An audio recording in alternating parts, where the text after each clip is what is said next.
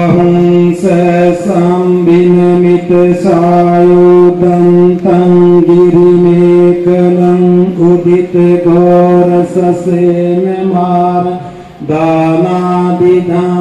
विधिना जित्वा बुद्धो तं तेजसा भवतु ते।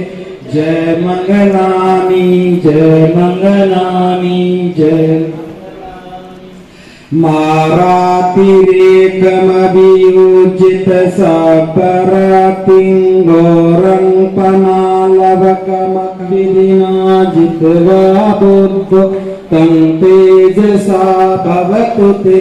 जय मङ्गलानि जय मङ्गलानि जय मङ्गलानि। नालगिरि गजवरङ्गयति मात्तभूतं दाभागी चकमसनीव सुदारुणान्तं मेतम्बुसेकविधिना जित्वा बुद्धो तं तेजसा भवतु ते। जय मङ्गलानि जय मङ्गलानि जय मङ्गलानि। ओकिते खगमतिहास सुदारुणान्तं तावन्ति योजनपतङ्ग उगलि मालभातम् इति विसङ्कतमनो जित्वा बुद्धो तं तेजसा भवतु ते।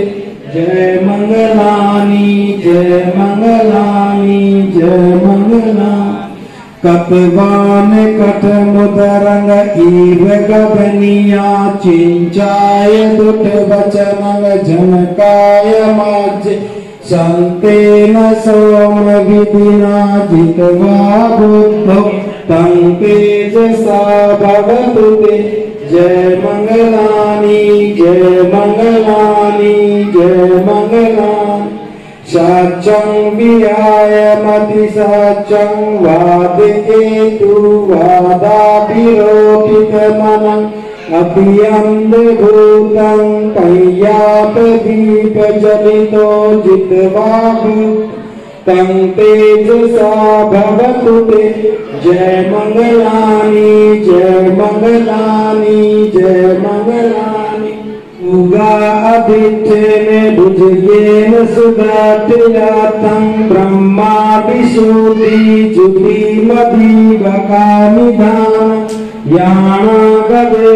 विधिना जित्वा बुद्धो तं तेजसा भवतु ते जय मङ्गलानि जय मङ्गल एकापि बोधय मङ्गल अधगाथायो वाचको दिन दिने सरते मतन्ति हितवाननेक विविधानि चुपदवानि मोक्षादु साधु साधु। ये अठमंगल गाथा है। और इसका अर्थ ये है महाकामी बुद्ध के जीवन में जब भी कभी कठिन दौर आए, ये भी शांति, धैर्य, सत्य, निष्ठा के साथ मुकाबला करें और हर बार विजय रहकर के अनंत मंगल कार्य करें। बोलो, साध साध साध।